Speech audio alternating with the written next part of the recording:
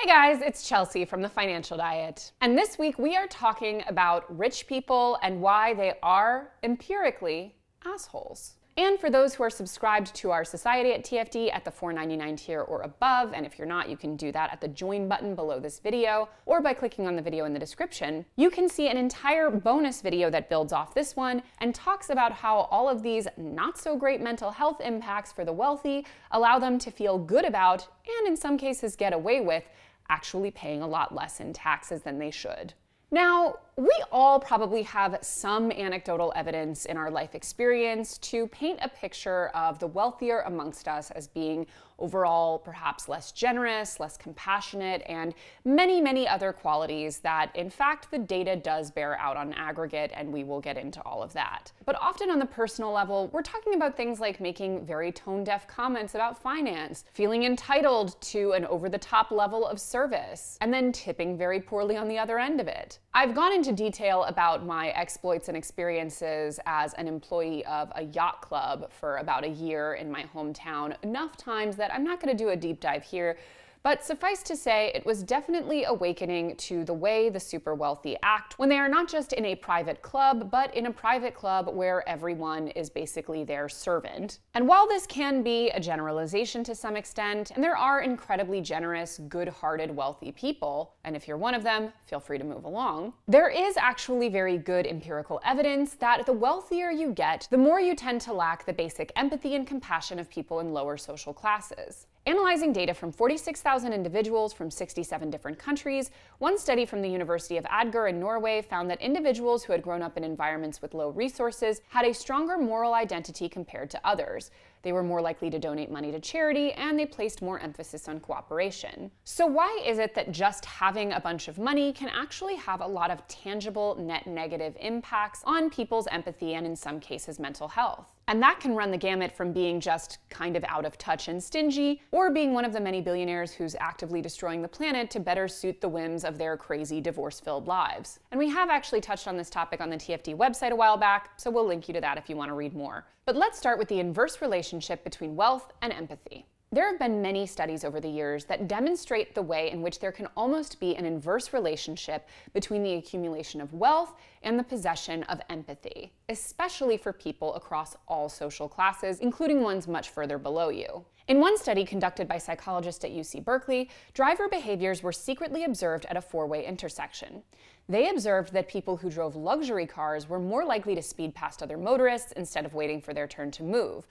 This behavior was constant, irrespective of factors like age, gender, time of day, and traffic levels. And a separate study found that luxury car drivers are more prone to speeding past pedestrians using crosswalks, even after they make eye contact with them. Explaining why such behavior persists among well off people, researchers have said that this might be because wealth and abundance instill a sense of freedom in a person.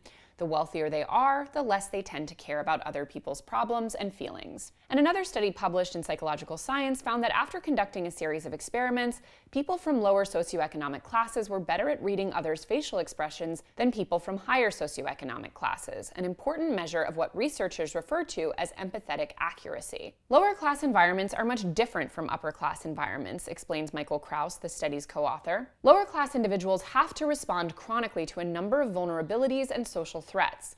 You really need to depend on others, so they will tell you if a social threat or opportunity is coming around that makes you more perceptive of emotions. The term emotional labor has been bastardized into literally people talking about how they don't want to have to spend time with their kids, but at its core, emotional labor often refers to the type of extra performative friendliness, happiness, and even acceptance of being harassed and degraded that many service workers are forced to perform on a day to day basis on top of the actual material work of their job. Almost any woman, for example, who's worked in food service can tell you about at least one time where she had to pretend that it was great that the drunk patron was hitting on her while his wife was in the bathroom, and knew that if you didn't smile through it and continue to serve admirably, that you risk not only getting a terrible tip, but also possibly getting fired. Having such a heightened awareness of how other people are reacting to you, what their facial expressions mean, etc., is something that lower socioeconomic classes can literally not afford not to cultivate. And in an earlier study, the same researchers as before found that those of lower socioeconomic status were also more helpful and generous, suggesting that it's not just empathetic accuracy, but empathy itself that may be enhanced by circumstance. Coming from an environment where you're more vulnerable, you solve problems by turning to others, says Kraus. That increases empathy and strengthens social bonds. At the end of the day, it is just not shocking that people with extreme financial privilege are not going to worry as much about how they are perceived by others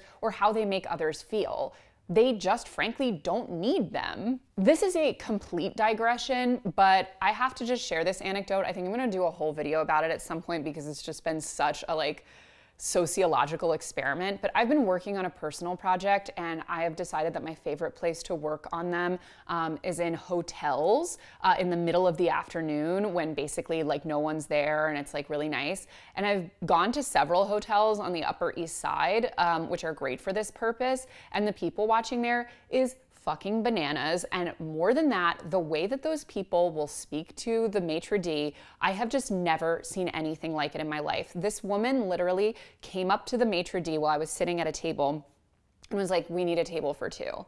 And the maitre d' was like, We have reservations. And she was like, That table's empty. He was like, Unfortunately, that table has been reserved. I can show you another area. She didn't even look at him. She was turned away from him. She put up her hand like this and she was like, It's fine we'll go somewhere else. And I was like, this is how this woman moves through the world. I cannot even tell you. I am honestly going to do a whole video just talking about the, sh the shit that I have seen over the past several weeks. And wealthy people also, on aggregate, don't have to rely on others for things like social and financial support. Which brings us to our next point, which is the social connection gap amongst the wealthy. One key factor in cultivating empathy is taking the time to really understand and connect with others. And the more affluent someone is, the more they can generally pay someone to do something that they would otherwise have to form a connection in order to complete. For example, taking an Uber to the airport rather than having a friend drop you off or hiring someone off TaskRabbit for a home chore rather than getting help from a neighbor. A 2016 study analyzing results from the General Social Survey and American Time Use Survey found that on average, people with higher incomes spend 10 minutes more alone every day than people with lower incomes, as well as 26 minutes less per day with family. And this increase in isolation amongst wealthy Americans has had a trickle down effect as we become more and more dependent on our technology and our social media and less dependent on in person social interaction. For instance, Americans are talking less and with fewer people about, quote, important matters. From 1985 to 2004, the percentage of Americans who said they had no one with whom to talk about important matters rose from 10% to 24.6%. And further, voter turnout in the 2014 midterm elections, 35.9%, was the lowest of any midterm since 1940. And here's the thing it's one thing to not make meaningful social connections with those around you because you don't need to. But another problem amongst the wealthy is when they are making social connections and talking about important issues, they're pretty much exclusively doing it with other people of their own socioeconomic class. In a 2014 study that randomly assigned research participants with online chat partners from various socioeconomic backgrounds, participants were less interested in spending time and becoming friends with the person when the profile described a cross class partner compared to a same class partner. This was especially true of upper class participants who were much less interested in engaging with a lower class person than with an upper class counterpart. When we analyzed why participants were more or less interested, we found that they reported that their values and interests differed too much from those of cross class partners for the interactions to be successful. So, of course, if the wealthy are only generally socializing with other very wealthy people, they're going to quickly become quite out of touch with the financial realities of basically the average American, let alone someone from a low socioeconomic class. But they're also going to have constant affirmations that their position of entitlement or lack of empathy are basically the right ones to have. And as they're continually moving in higher and higher social circles, it's likely that they are going to continue to reduce down those networks to people who, to some extent, are aspirational for them. Because money, which brings us to our next point, is an actually addictive thing. One of the secrets about wealth is that once you have money, it is basically infinitely easier to make more of it. Money begets money in many cases. But that cycle can also become dangerous. And in fact, money addiction does fall under a category called process addictions, which also includes things like sex addiction or gambling addiction. Process addictions are addictions that involve a compulsive and or out of control relationship with certain behaviors. With process addictions, engaging in a certain activity, like, say, viewing pornography, compulsive eating, or an obsessive relationship with money, can kickstart the release of brain and body chemicals like dopamine that actually produce a high similar to the chemical high of a drug. The person who is addicted to some form of behavior has learned, albeit unconsciously, to manipulate his or her own brain chemistry. And as with substance addictions, the effects can be detrimental to a person's well being, including affecting their actual relationships. Gradually, just as the case is with any addict, their preoccupation with money becomes their primary preoccupation, and money becomes their primary relationship. Their personal drives and identity become so wrapped around having money, the wealthy person, accumulating money, the big earner, spending money, the big spender, or even giving money away, the big donor, that they don't know who they would be without it. And as we see things like executive compensation and bonuses continue to spiral out of control, we're so past the point where the very wealthy are actually feeling meaning material increases to quality of life the more money they earn. The difference between earning 100 million and 300 million doesn't really actually matter all that much when it comes to the psychology of it. The difference in happiness and quality of life between 300 million and 100 million is actually negligible. However, what is meaningfully different between those two numbers is a validation and a rush from that sense of addiction to earning more, to having higher status, and to simply accumulating a higher number on your net worth. But even if all of those boxes are being checked, it still doesn't necessarily mean you're going to feel good, because there is actually a meaningful link between wealth and depression. Because things like this addictive relationship to money and lower social connections are huge contributors to the fact that in some cases, wealthier people in a given society are actually more likely to experience things like depression. We often talk here about how money means freedom. Because, to be honest, while having more money may not necessarily make a person happier automatically, not having to deal with the day to day stresses of not having enough is a huge mental load off your plate, regardless of the rest of your mental health factors. But we often don't talk about the kind of mental health damage that can come from having too much of that freedom, which does things like remove consequences, enable addictions, reduce social connections, and can result in that poor little rich boy stereotype that we see in characters like Kendall Roy on Succession, my number one boy. Generally speaking, lower incomes are associated with higher levels of depression. However, a 2010 study from Princeton suggested that the returns are diminishing after a certain threshold. And below the threshold amount cited in the study, which Dr. Megan Markham estimates is about $95,000 a year in today's economy, money serves to meet basic needs such as shelter and access to health services. Being able to have your basic needs met can help your mental health. And Markham says that while having money can help people meet universal needs, wealth can also cause stress. However, the psychological and social factors may look different for people with low versus high income, she adds. For someone who can't afford basic necessities like food and shelter, the stressor is obvious. Well off people, on the other hand, may experience stress factors that relate specifically to being wealthy, Markham says.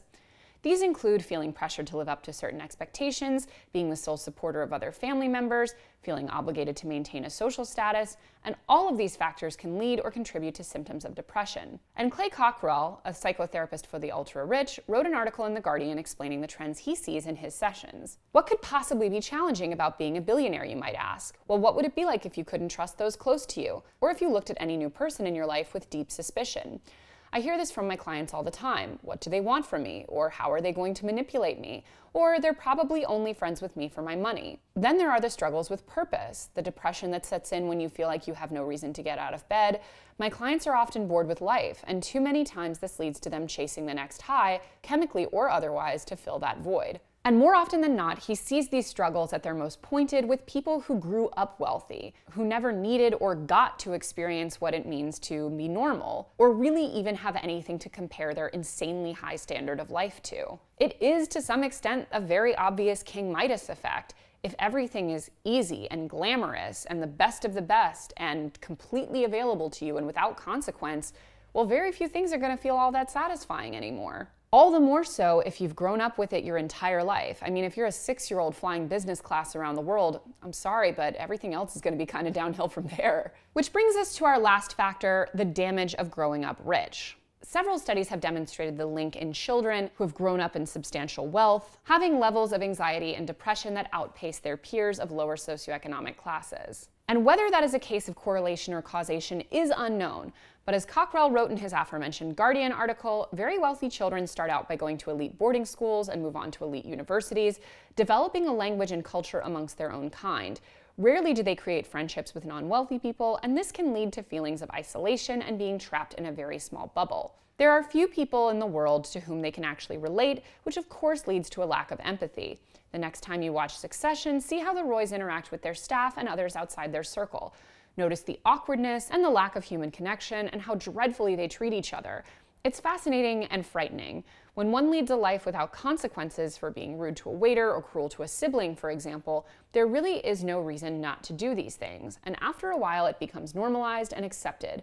Living a life without rules is simply not good for anyone. And maybe it is a generalization to say that growing up very wealthy sort of condemns you to being a jerk. But when you look at the factors that we've discussed before that lead to a diminished capacity for empathy and a reduced feeling of consequences for bad behavior, it really is no surprise that people who have been raised in that environment since birth are going to have an easier time developing those habits, especially if behaving in these ways will have no material impact on your standard of living. We all saw Scott Disick shove that dollar in the waiter's mouth, and he's doing just fine. And as a reminder, if you want to get into our bonus video all about how this stuff translates to paying less in taxes and feeling great about it, click on the members only bonus video at the link in our description and check it out. Now, none of this, let me be clear, is to say that wealthy people are worse off than poor people. They are not. Nor is it fair to say that, oh, money doesn't buy happiness, because up to a certain level, in terms of meeting basic needs and having a little flexibility and freedom in your life, it absolutely does. However, it's important to understand that our cultural tendency to frame very wealthy people in an aspirational way is part of what allows them to continue to get away with psychological and social behaviors that are objectively not up to snuff. On aggregate, they do tend to treat people of lower socioeconomic classes as less than them. And by constantly lionizing the wealthy in our society, we continue to say that on some level, that's okay which we should probably stop doing. As always, guys, thank you for watching, and don't forget to hit the subscribe and join buttons, and to come back every Monday, Tuesday, and Thursday for new and awesome videos. Bye!